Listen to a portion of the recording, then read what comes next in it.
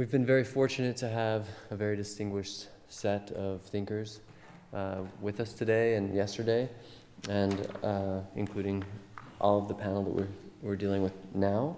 Uh, one of those members that has not yet been introduced is, is Philip Beesley. Uh, he's a professor of the School of Architecture at Waterloo, a practitioner of architecture and digital media art. Um, he was educated in visual arts at Queen's University, in technology at, at Humber College, and in architecture at the University of Toronto. At Waterloo, he, he serves as the director of the Integrated Group of Visualization, Design, and Manufacturing, and as director for uh, Riverside Architectural Press. He also holds the position of um, examiner at the University College London. His Toronto based practice, uh, PBI, PBAI, is an interdisciplinary design firm that combines public building, buildings with exhibition design, uh, staging, and light, lighting projects. The, the studio's methods incorporate industrial design, digital prototyping, and uh, mechatronic engineering. Philip Beesley's work is widely cited in a rapidly expanding technolo technology of responsive architecture. He's authored and edited eight books and, a, and appears on the cover of, has appeared on the cover of Artificial Life, uh, which is an MIT publication, Leonardo, and AD Journal. Features include uh, National CBS News, Casa, Casa Vogue, Wired, and um, a series of TED Talks. His work was selected to represent Canada at the 2010 Venice Biennale for architecture, and he has been recognized by the Prix de Rome in architecture. Philip.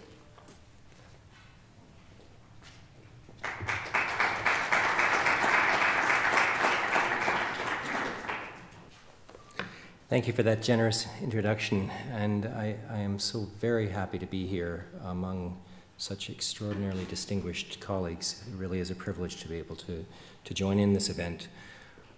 I'm going to be speaking to you as a craftsperson uh, who will be presenting a series of projects which come before neuromorphic architecture. These projects do not have brains. They don't have consciousness. They barely have subsumption, that is, that is the, the individual loops, perhaps, that, that, that make, make for a reflex from, from my ganglion and my elbows to, to, my, to my fingers or in my knee to my feet they do have some interconnectivity in them. And most particularly, they are tuned, perhaps in the terms that, that Harry offered, in, the, in their tectonic precision, following, I think, a rather different paradigm than Vitruvius taught us in seeking permanence and use.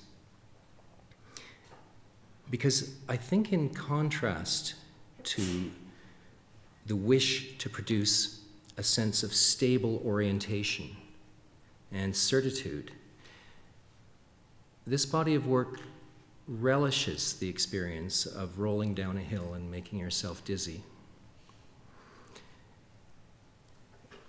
The sense that in play and in happiness, a shift of boundaries an expansion of boundaries, and an interpersonal kind of sharing of, of space becomes an absolutely delicious and natural and very, very familiar way of working. And this could be called an architecture which can only exist in excess, in a time of peace, in a time of plenty. But I hope that I can justify the kind of particular crafts that I, that I share with you today, as offering a kind of resilience and economy through quite specific methods of interconnections and quite specific methods of, of design, which would stand for a very robust kind of sustainability, not the sustainability of absolute control and, min and min minimum energy footprints, but rather through a profound buffering interconnectedness that comes from strategies like dynamics relaxation and force shedding and textile based strategies, mapped onto then some new processes of active response and active metabolisms. So, this body of work, which has been done with a great deal of, of intuition rather, rather than planning and conscious purpose, is perhaps primed for this gathering. This is why I'm so delighted to, to be here, um, because this, if this is a body without organs and a body without brain, then it's the most wonderful opportunity to meet some brains and some consciousness. I can't wait to be able to, to collaborate. I very much hope that that will be possible. These are the kind of environments that I and my colleagues have, have been doing in, in Toronto and Waterloo um, with, with cells from, from now Newcastle and, and Nottingham and, and uh, a couple of other centers in Europe, um, in, in, in, Copenhagen, for example, and in, in Waterloo. And this kind of work might be conceived as a kind of soil, that is, a layered matrix which is very deliberately open, carefully put together, enriched by, by, by multiple layers which are primed for response, as a kind of very deliberate transitional field, open, inviting fertility. And they're framed with a basic sense of a question Where am I? And where am I standing? And what is the ground that supports me? Is it the ground that Vitruvius taught us could be firm and whole and reliable, holding us with certitude, holding us with a beautiful comfort of the world which always we will be with us and which cradles us, and the parents which precede us, and the stable cultures which precede us? Or is it a different kind of ground? A ground which trembles, which even threatens to die? A ground which engenders a very different kind of response in architecture than the kind of proud emplacement that even Mies van der Rohe offered us in that extraordinary kind of stripped humanist stage of the Neue Staatsgalerie, trying to strip away past culture, but, but offering a kind of proud freedom, a, a belief that's, that's, so, that's uh, that a kind of social stage would hold us. I think that the architecture that offers emplacement today does require some different kinds of strategy than were marked perhaps 200 years ago, when the task might have been one of finding sensitive filters to hold us in relationship to a stable world, or perhaps 50 years ago, in which an architecture might have had the task of finding justice and care and empathy in a social axis, but stabilizing the world again. Instead, this seems to be a time in which architecture needs to create fertility, needs to create its own realms which can heal and renew.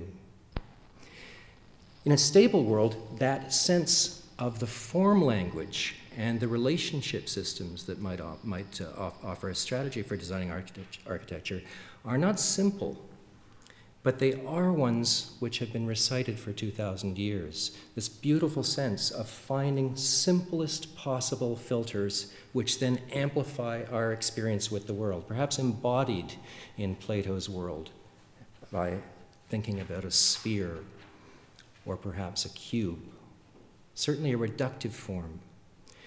And yet, when I think about the kind of form language of purity and of clear boundaries, perhaps Im- embedded in a sphere.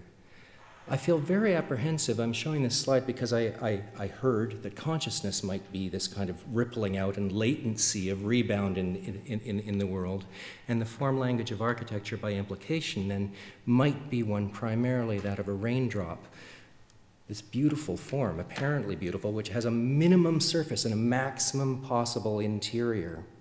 And so, in spite of that beauty and in spite of that particular kind of connection with the environment, the, the rebound, it seems to me that this is also a form language which is a kind of machine for resisting reaction, at least in, its, in terms of its arithmetics for its reaction face, because after all, a sphere is the least possible geometry for reacting with the world, the least possible exposure, the greatest possible enclosing territory. So, as a form language guiding architecture, it would be very effective for guiding ballistics and forts and banks and places where we're cold and we want to harvest heat, but it's the worst possible form, surely, if we want to relate, if we want to get rid of heat, if we want to have maximum reaction. How very curious that we're taught that this is a good form then, when it also speaks of death in a particular circumstance, that is, when you're trying to cool down. And so I want to speak about a different kind of form language as a corrective. That is dissipative form, that is, that is of deliberately reticulated, outreaching form in which maximum surface area and maximum reaction and maximum potency is, is guided, rather than the minimizing fort, fort, fort-like tangents of the form language which in classical canons are taught. This work tries to work, by the way, you can turn off the sound um, throughout. This work tr- tries to generate incremental, gentle, ambient kind of, kind of res- responses uh, working around us. And it does so by trying to find very gently reticulated forms made out of multiple components that are tuned for maximum resonance and, and, and maximum reaction.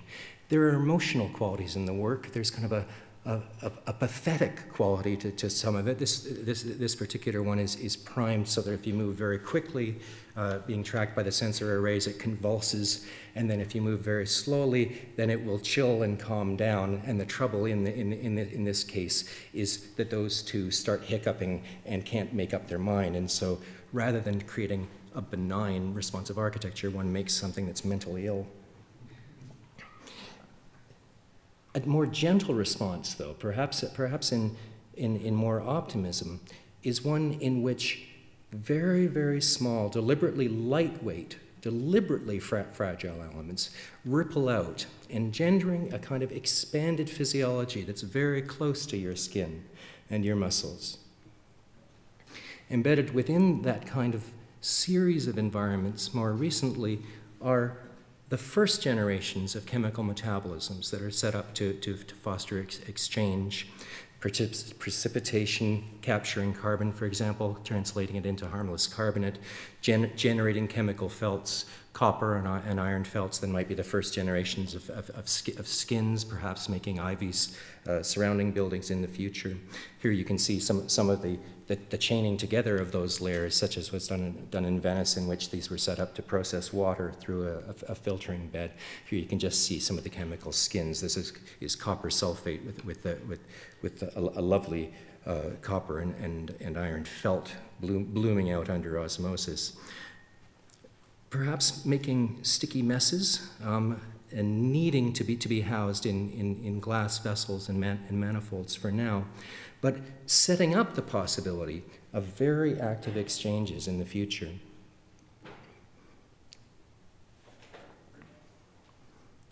I've lost everything.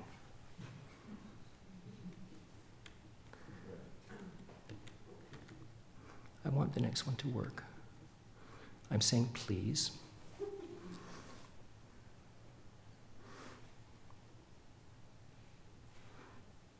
I don't think it's going to.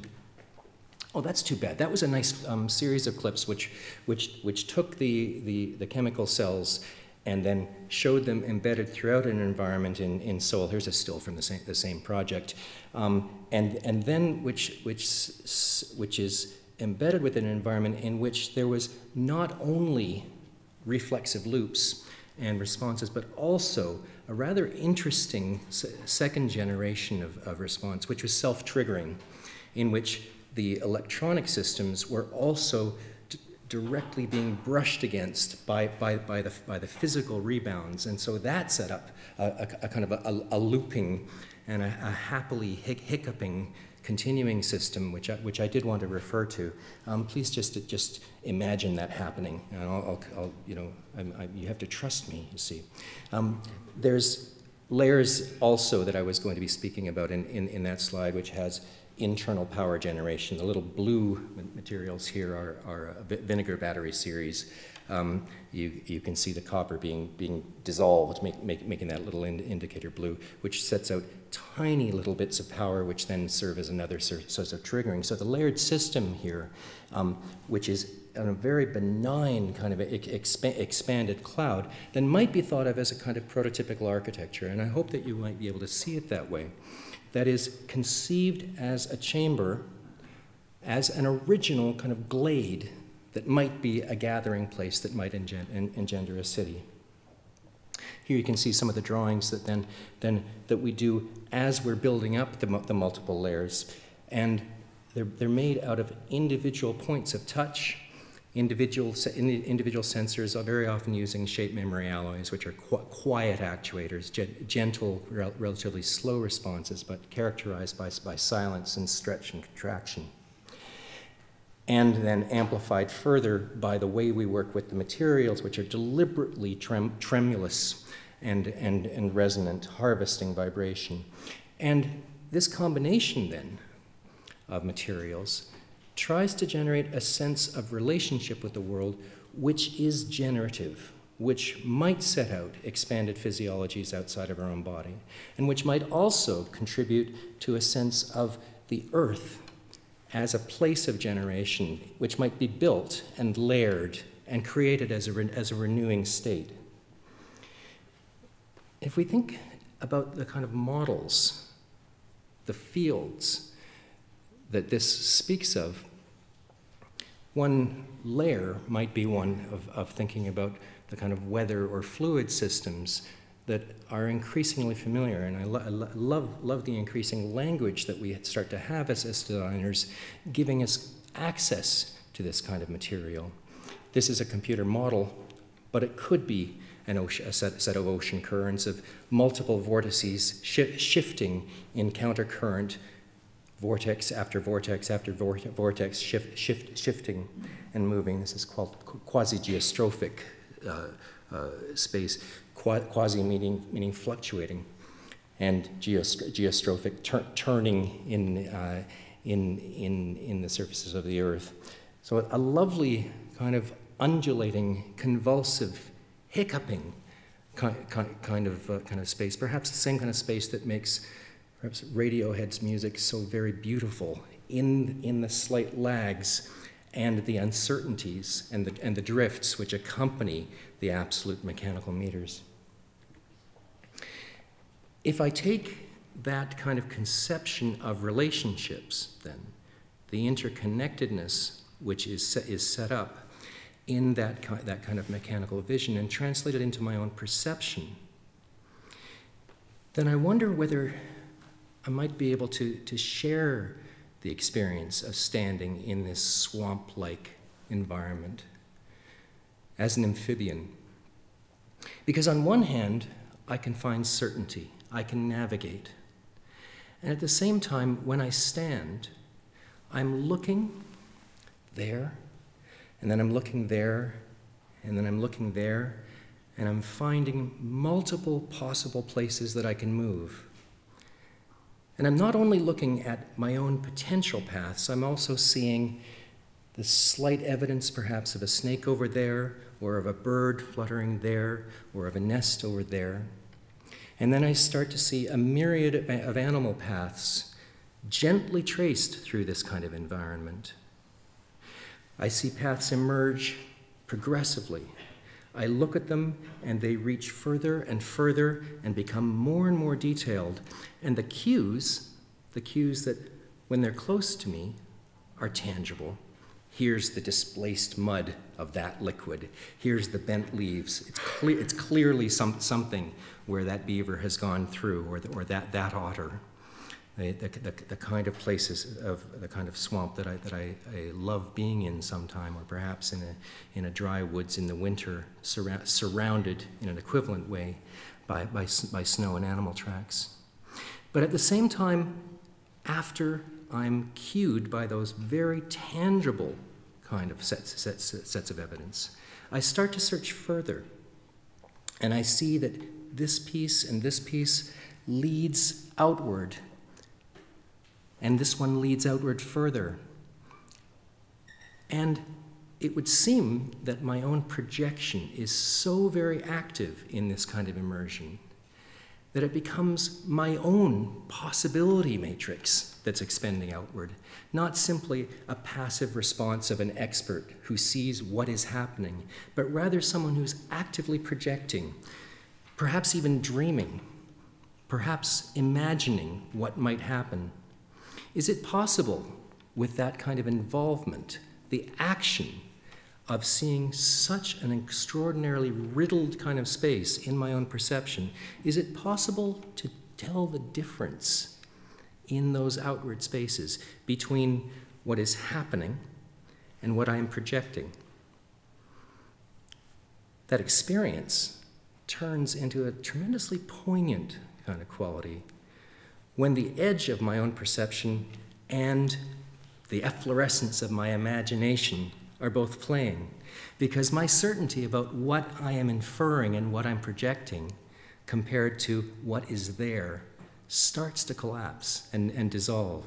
I can't tell the difference.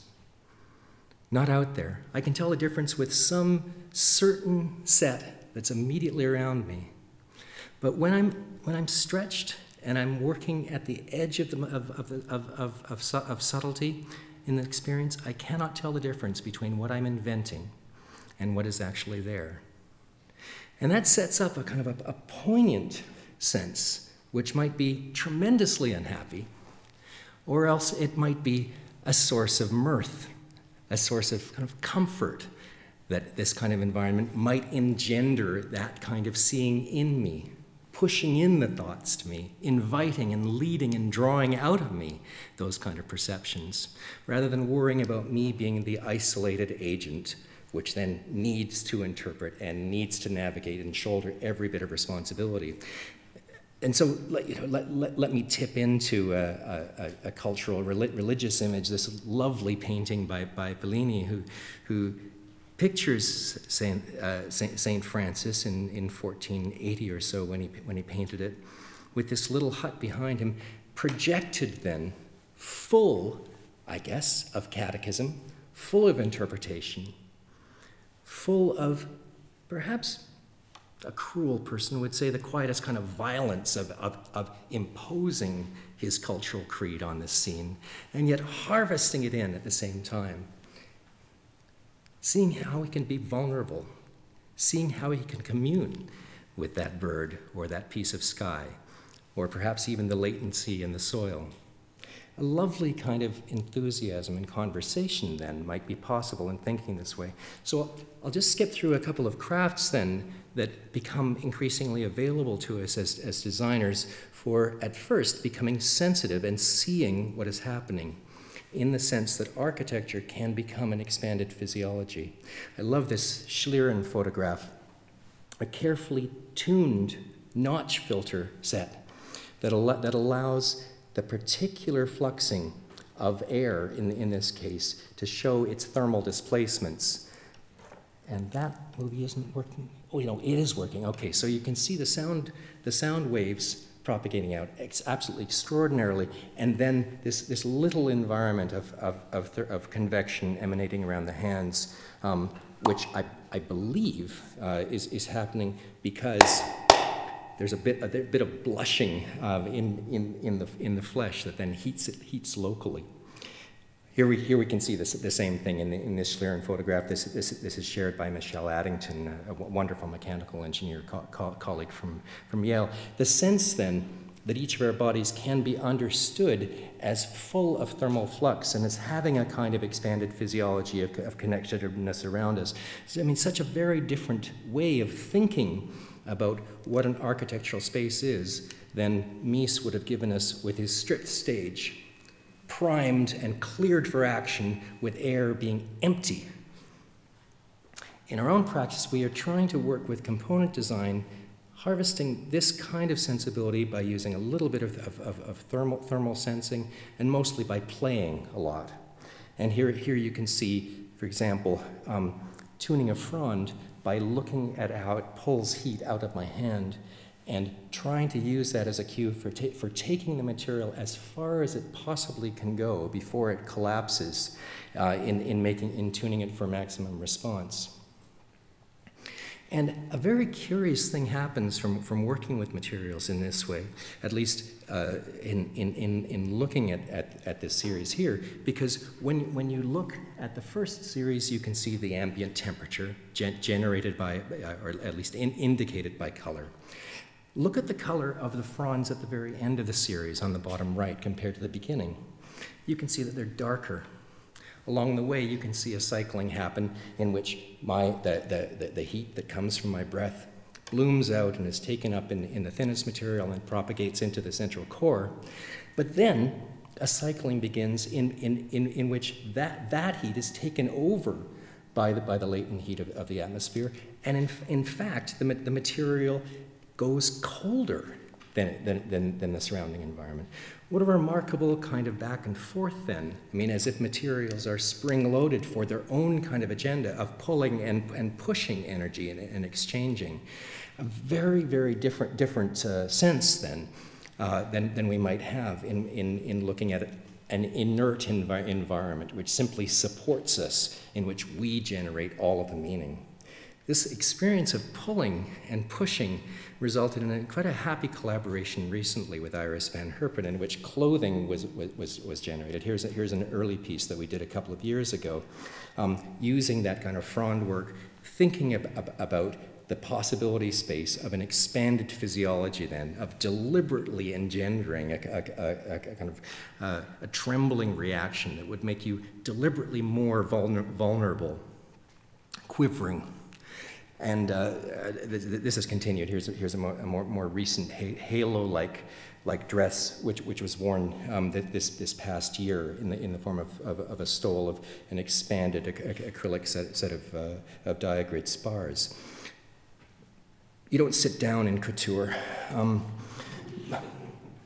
but you can if you work on it some more. And so there's a tangent of, of, of working with, with those rather playful states um, and now, now working with, with injection molded polyurethane in order to make soft elements as opposed to the rigid ther ther uh, thermoplastic ones that I was just, just showing you and working with, with, with this, this soft material that then translates the same kind of sensibility into a very sp springy, lovely, re resilient layer, which, which still functions as, as the, the kind of kinetic expanded skin, um, but which at the, same, at, at, the same time is extremely gentle and, and, and light and sit downable. Translating this into architecture starts then with the sense of the stable house and the stable building that I've been complaining about, attributing that to my Vitruvian education. And very deliberately takes the kind of sanctuary of these walls and these, these sta stable foundations as a kind of a petri dish that allows unapologetically fragile things to accumulate within, within this, this, this sanctuary, setting up a deliberate sensitivity, setting up a deliberate kind of reaction space but then using the momentum and using the, the kind of experience, the craft experience that's engendered by that protected space, the play space, as the kind of as the kind of site for then taking on trials in which a building jacket can move outwards and subject it, itself to heavy forces and massive thermal thermal changes through the through the seasons and social responsibility. So the, so the, this a, a second state of, of development then moves into, into responsive envelopes.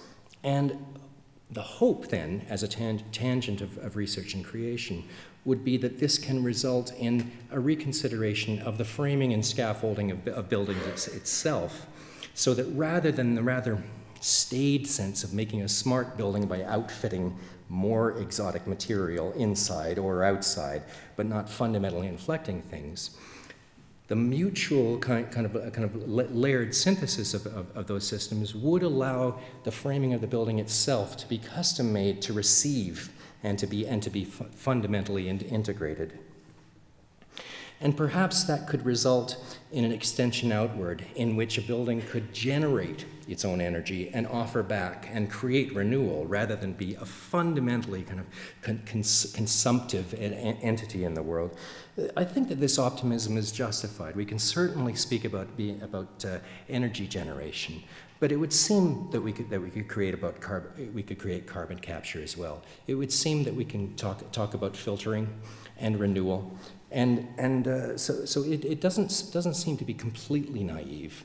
And so, this sense then of profound involvement, on one hand being pulled, and the other hand generating exchange, serves as the kind of fundamental optimism of this work.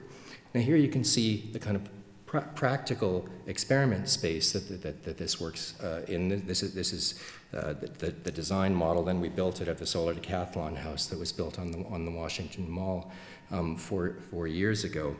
Um, using a, quite a different energy model in which in wintertime you harvest the sun and so you absolutely want as much transparency as possible. Whereas in the, in the summer you would want to be able to close during, during the day. And so you need so so the advantages of, of a highly responsive and changeable jacket in, in, in, in order to work with it with energy generation and retention is used rather than the kind of the, the passive house uh, stance of trying to optimize for the heliodon in the, in, in the best sense possible, but then just having at it as, as, as one static space.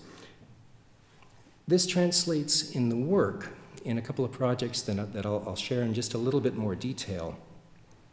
This is a slightly older project, but it, it still serves as, as a set of basic strategies for the studio. The Venice Biennale Hylozoic Ground Project was framed as a set of overarching hyperbolic canopies made of corrugated diagrid snap fit acrylic chevron based fabrics that made an overall quite resilient structure that then was layered with a gland like set, of, of bladders and traps holding salts and fluids, a soil like kind of in, in, enriched layer. And then laid on again with distributed computation, arrays of space sensors and microcontrollers that then held protocells as the basic kind of metabolism that then would process the, the, the material of the, of the canal.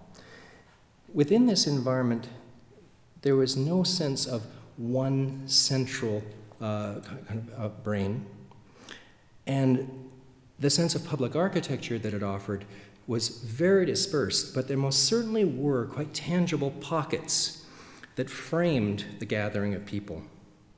And so it most certainly wasn't simply uh, kind of an instrumental architecture which would be only about the mechanism. On the contrary, I think it could be offered as a kind of a public architecture, an architecture which speaks of a very playful, active mutual response between an environment and, be, and, be, and between, a, between an environment and a people. And if we compress this together, if we think of, of, of the layers that we see here, the hyperbolic basic resilient scaffolding, the suspended layers that we see laid, laid out here in the kind of protected space, and, and then the, the, the, circuitry as well. If we compress that together, then I, I hope that it would be quite convincing to imagine that as a, as a future wall and, and, and roof and canopy system. Just to, just to dwell a little bit more on, on, on the craft of this, you can see some of, some of the basic organization again in, in this drawing and the basic hyperbolic scaffold which, which frames the work. A scaffold which is based on dynamic force shedding, rather than on resistance, and more on, on, on tensile and tensegrity forces rather than compression. tensegrity is, is kind of a, it's, it's a lovely conception akin to our own bodies, in which the, the, material economy of tensile forces then is put into, into deliberate stress with, with compression struts which float within a bed, a bed of continuous ten, ten, tensile elements. And the efficiency of, of, of that then is very great. It absolutely depends on other, other stability, like a, like a framing building. So, it, so it's, it's not an adequate, complete system, but it has, has a, a remarkable kind of resilience.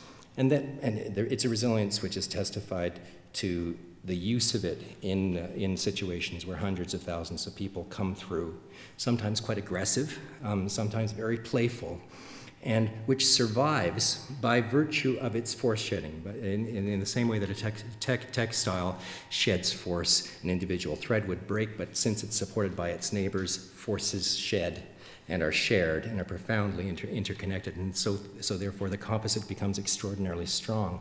Here's, here's just the structural unit. Um, an, an, individual snap fit chevron, which makes a tetrahedron, which then is multiplied in, into a corrugated diagrid, the, ba the basic fabric, the resilient fabric that makes the system.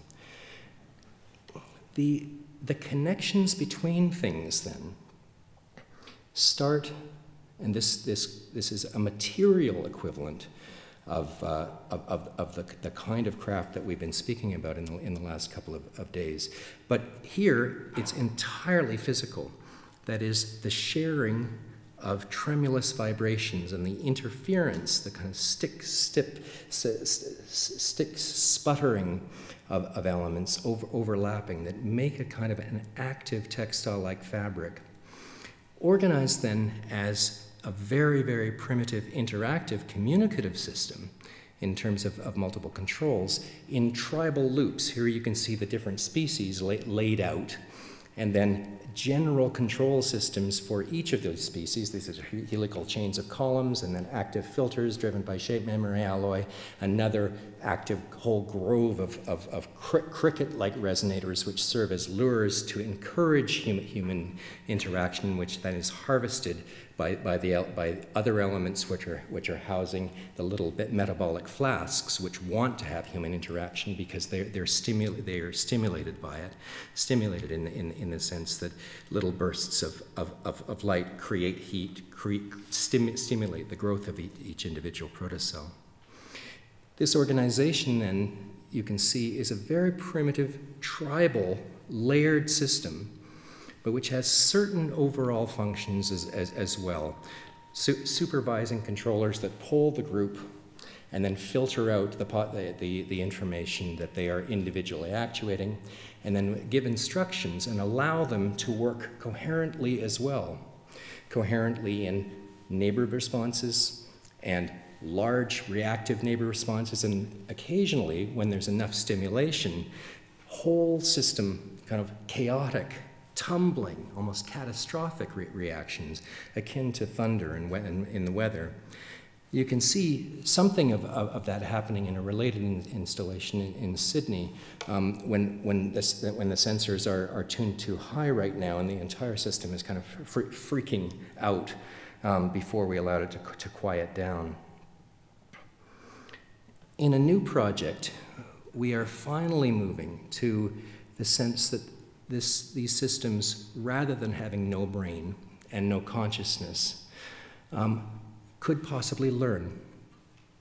And so what you see here is, is a, a sketch for a meshed tri triangular framework of tentacles which stir the air and, uh, and by, by, virt by virtue of the triangular placements make cupola forms which are frame, frames for, for inhabitable space, but in a continual, ma continual matrix in which each element is, is responding to, to multiple neighbors. And also, each, each element is working in multiple ways because there is sound, protocell, and, and light all, all working together. Here you can see the curiosity based algorithm placed as an extra element on top of the existing occupancy maps, which determine the relationships between elements, and also the pre-scripted behaviors, which, which form the basic re reflexes of, of the system. And so the, the, the CBLA, the curiosity-based system, which is driven by extra information. That, that is, if change happens, then that is interesting and, that, and that, that drives it forward. But here you can see that it, it's working together with the, with the pre-existing information. And so that, so that, that, that produces uh, the kind of, I, I, guess, the resilience of, of the system. Here, too, you can also, see that the individual elements are chained together so that one sensor will influence multiple tribes. You can see the, the infrared uh, proximity sensor in the, in the middle, for example, uh, approaching two different analyses. One judging this, the synchronization of the LED group, which, which, uh, which, which, controls the protocells, and at the same time feed, feeding into the synchronization of, of adjacent tentacles. By tentacle, I mean a frond-like element driven by shape memory alloy, which, when chained together into three, makes a coherent, uh, a coherent cupola which could stir the air, akin to a leaky heart valve, or, or, or uh, perhaps a, a, lymph valve uh, which, which, which would pump lymph, lymph through our system. And you can see, you just see the kind of pathetically sim simple early tests of, of, of, of, uh, of, of this system.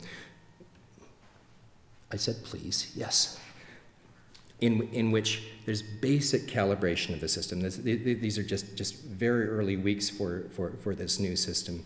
And so what's, what's happening here is that there are basically random set, sets of, of possible actuations, but then, then which feed back using proprioception, mean, meaning that anything that happens is also supervised by a sensor which therefore can tell it that it's happening. And the calibration of that so that then the system can learns to predict that it has the ability to do, to do something is a, is a sort of primary response. And, and then you can see the same thing happening in, in, uh, in, a, in a cluster with, within the studio as then multiple systems are learning to be coherent together. Now this is very early days and the, the, the, function of learning to stir air effectively and learning to gravitate to a human occupation in a particular place um, and what the, what the longevity of that would be is, uh, is, is ahead of us. Um, we, we can't offer any, any certainty about that. But it, do, it does represent a kind of a tangent that is a, that, it, that is a, a, a direction for us. So let, let me sum up. I've tried to talk about a series of projects which have been asking fundamental questions about architecture. And I've tried to frame them in a rather emotional way that is of serving a sense that I'm standing here and that you're here and that we make architecture as an act of emplacement, of engendering a way of, of, relating to the world in the way we frame our space and in the relationships that we offer. And I've also tried to suggest that rather than a classical mode which tries to reduce its interaction, that tries to make something as efficient as possible by following a, a, an equation which has minimum possible envelopes and maximum possible territory, the kind of purity of that arithmetic. I've tried to suggest that a form language which would prioritize maximum reaction and maximum exposure can be a tremendously refreshing kind of quality, can offer the kind of interest and curiosity and interconnection that can offer a different kind of resilience in relationships. And I've tried then to, to show some projects in which that kind of form language has been, in very practical terms, played out through manipulation of materials, through molding multiple systems and having them work together I didn't show you the, the, the first film which, which, which showed quite, quite directly those, those, those, systems triggering each other in, in a kind of lov lovely example of autopoiesis, of, of the, the, the, idea of, of self, self-generating uh, systems complementing each other. But I do hope that this, this brief talk offers a sense of touch and intimacy and full-blooded involvement as a kind of as a way of, ge of generating a very, very satisfying and refreshing architecture. Now, just, just a, a final comment then. I mean, if, if, if I think about the kind of, of relationship system that active, responsive architecture offers then, and if I think about the kind of problematic sense that I was trying to demonstrate when I was talking about the swamp, and my inability to tell the difference between what I thought I saw and what I was inventing or projecting or dreaming through, through, through my own fictions at the outer edges of that involvement. When that kind of certainty changes because I am not simply a stable, proud person, but also I want something to be possible in my pathfinding. And so I project outward. Then this kind of curious, fl- fluttering, mutual space that results, the space in which making yourself dizzy is perhaps uh, a, a norm, might, I think, become a tremendously positive way of thinking of a kind of architecture. Perhaps not a main government chamber where you make decisions about whether to go to war or whether to invest a whole, whole public, but a kind of architecture which prioritizes the edges of things and transitions and possibilities for growth and possibilities for integration, a kind of an ecumenical space. And this might be supported then, moving through new physics and new abilities to measure and speak about complex systems, by a psychology as well, which might be a step towards the neurology that I, that I hope I'll, I'll have a chance to collaborate with. And I'm showing this slide which is one um, which perhaps illustrates the theory of Donald Winnicott, a lo- lovely mid century psychologist who theorizes the formation of the psyche in infants. What is the consciousness of someone before they have been born, or while they're being born, or in the space of those very short times before they have learned that, that they are a person? Is it necessary to prioritize independence and agency and power and individuality and hardening the boundaries that circle you? Is it necessary to take you on a path as deliberately as possible into distinct isolation, into distinct boundaries, in the safe zone of having a clear skin? Winnicott certainly speaks about the kind of conditions that allow people to acquire agency and he speaks about them, however, by talking about transitional objects. A transitional object like a lovey or a diaper.